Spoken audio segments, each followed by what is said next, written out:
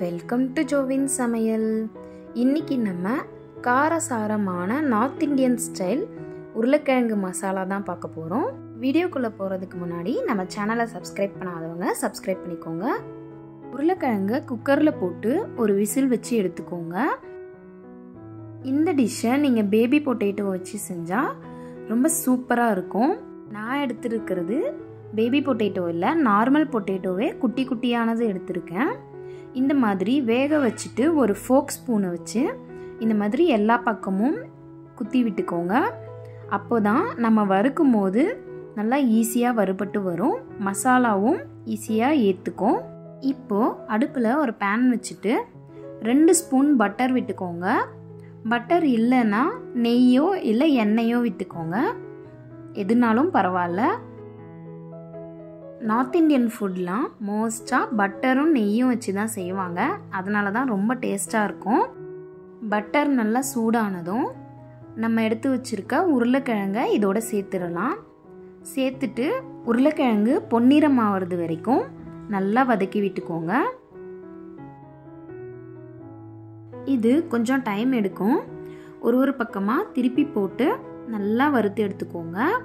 இப்போது கொஞ்சம் மஞ்சத்தூள் சேர்த்துக்கலாம். சேர்த்துட்டு பொறுமையாக வதக்கி விட்டுக்கோங்க. நான் எண்ணெய் கம்மியாக சேர்க்கணுன்றதுக்காக இந்த மாதிரி ஃப்ரை பண்ணுறேன் உங்களுக்கு வேணும்னா நீங்கள் எண்ணெயிலே பொறிச்சு கூட எடுத்துக்கலாம்.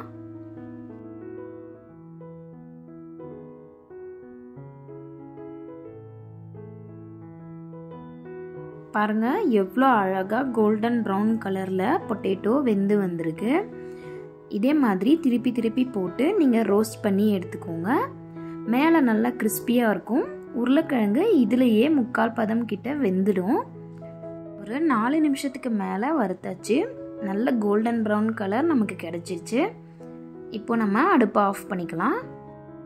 இந்த டிஷ்ஷுக்கு தேவையான ஒரு மசாலா பேஸ்ட் நம்ம அரைச்சிக்க போகிறோம் ஊற வச்ச முந்திரியும் ஊற வச்ச காஞ்ச மிளகாயும் சேர்த்து நல்லா ஃபைன் பேஸ்ட்டாக அரைச்சி வச்சுக்கோங்க. இது ஒரு பக்கம் இருக்கட்டும். அடுப்பில் ஒரு கடாய் வச்சுக்கோங்க. கடாய் நல்லா சூடானதும் ஒரு ஸ்பூன் நெய்யும் ரெண்டு டேபிள் ஸ்பூன் எண்ணெயும் விட்டுக்கோங்க. எண்ணெய் நல்லா காஞ்சி வந்ததும் நம்ம மசாலா பொருட்கள் சேர்த்துடலாம். மூணு கிராம்பு மூணு பட்டை ஒரு அன்னாசிப்பூ ஒரு ஏலக்காய் ரெண்டு பிரிஞ்சி இலை. இதெல்லாம் சேர்த்து நல்லா பொரிய விடுங்க. நல்லா பொரிஞ்சு வந்ததும் நறுக்கி வச்ச ரெண்டு வெங்காயத்தை சேர்த்துக்கோங்க. சேர்த்துட்டு நறுக்கி வச்ச ரெண்டு பச்சை மிளகா கொஞ்சம் கேப்சிகம் இதையும் சேர்த்துக்கோங்க. கேப்சிகம் சேர்த்தா டேஸ்ட் இன்னும் நல்லா இருக்கும். சேர்த்துட்டு நல்லா வதக்கி விட்டுக்கோங்க. வெங்காயம் ஒரு ரெண்டு நிமிஷம் நல்லா வதங்கிடுச்சு. இப்போ நம்ம இஞ்சி பூண்டு விழுது சேர்த்துக்கலாம். நான் ரெண்டு ஸ்பூன் இஞ்சி பூண்டு பேஸ்ட் சேர்த்துருக்கேன். சேர்த்துட்டு பச்சை வாசனை போகிறது வரைக்கும் நல்லா வதக்கி விட்டுக்கோங்க.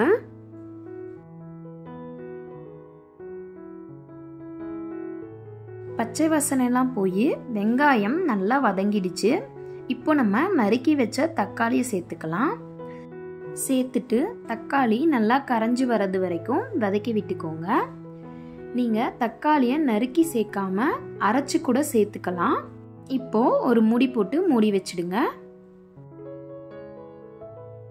வெங்காயம் தக்காளி நல்லா வதங்கி பச்சை வாசனையெல்லாம் போய் நல்லா வதங்கி வந்திருக்கு. இப்போ நம்ம மசாலா பொருட்கள் எல்லாம் சேர்த்துக்கலாம்.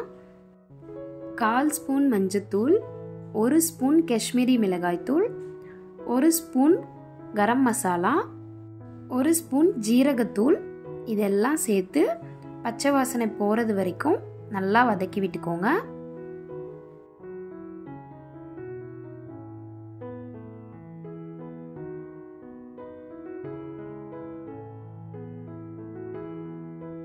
மசாலா நல்லா வதங்கிடுச்சு. இப்போ நம்ம அரைச்சி வச்ச முந்திரி காஞ்ச மிளகா பேஸ்ட்டை இதோட சேர்த்துக்கலாம். சேர்த்துட்டு மிக்சி ஜாரில் கொஞ்சம் தண்ணி சேர்த்து இதோட சேர்த்துக்கோங்க. சேர்த்துட்டு நல்லா கலந்து விடுங்க. நல்லா கலந்துட்டு ஒரு மூடி போட்டு மூடி வச்சிடுங்க. நல்லா கொதிக்கட்டும்.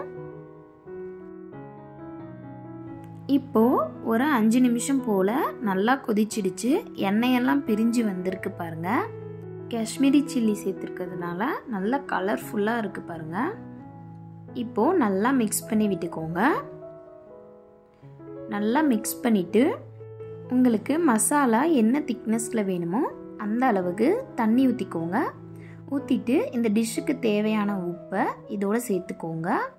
நான் அரை ஸ்பூன் உப்பு சேர்த்துருக்கேன். சேர்த்துட்டு நல்லா மிக்ஸ் பண்ணி விட்டுக்கோங்க. ஒரு ரெண்டு நிமிஷம் போல் நல்லா கொதிக்கட்டும்.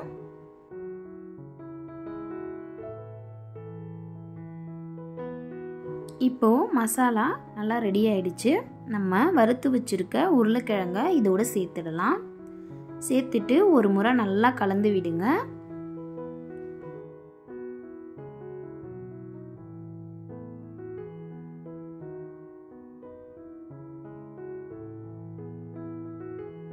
நல்லா கலந்து விட்டுட்டு ஒரு மூடி போட்டு மூடி வச்சிடுங்க. தம் போடுற மாதிரி மீடியம் ஃப்ளேமில் வச்சுட்டு மூடி வச்சிடுங்க. இப்படியே ஒரு அஞ்சு நிமிஷம் இருக்கட்டும். அஞ்சு நிமிஷம் ஆகிடுச்சு. நம்ம ஊற்றின பட்டரும் எண்ணெயும் எப்படி பிரிஞ்சு வந்திருக்கு பாருங்கள் நல்லா கலர்ஃபுல்லாக பொட்டேட்டோக்குள்ளே நல்லா மசாலா இறங்கியிருக்கு. பார்க்குறதுக்கே சாப்பிடணும் போல் இருக்குது இந்த மசாலாவை நீங்கள் சப்பாத்தி ரோட்டி நெய் சாதம் இதோடலாம் சேர்த்து சாப்பிடும்போது செம்ம டேஸ்ட்டாக இருக்கும். அவ்வளோதான் நம்மளுடைய உருளைக்கிழங்கு மசாலா ரெடி ஆயிடுச்சு. இது மேலே கொஞ்சமாக கஸ்தூரி மேத்தி தூவி இறக்கிடலாம். உங்ககிட்ட கஸ்தூரி மேத்தி இல்லைன்னா கொத்தமல்லி தூவிக்கோங்க. இன்னைக்கு நான் இந்த மசாலாவை சப்பாத்தியோடு சேர்த்து சாப்பிட போகிறேன் இந்த சப்பாத்தி செம்ம சாஃப்டாக இருக்குங்க. சப்பாத்தி ரெசிபி உங்களுக்கு வேணும்னா ப்ரீவியஸ் வீடியோவில் போட்டிருக்கேன். சிக்கன் கறியோடு சேர்த்து போட்டிருக்கேன். நீங்கள் செக் பண்ணி பார்த்துக்கோங்க. அப்படி இல்லைன்னா மேலே வர லிங்க்கை கிளிக் பண்ணி பாருங்கள் இந்த ரெசிபி உங்களுக்கு பிடிச்சிருக்குன்னு நினைக்கிறேன். பிடிச்சிருந்தா ஜோவில் சமையல் சேனலுக்கு சப்ஸ்கிரைப் பண்ணிக்கோங்க. தேங்க்யூ